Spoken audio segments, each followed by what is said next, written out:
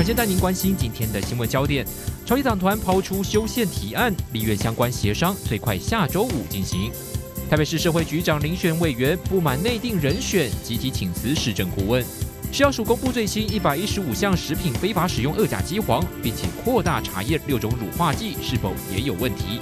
恶搞金正恩的喜剧片《名嘴出任务》遭骇客威胁后，索尼突然决定取消上映。消息一出，引起一片哗然。美方表示这是国安问题。更详细新闻内容，请锁定新唐人亚太晚间八点新闻。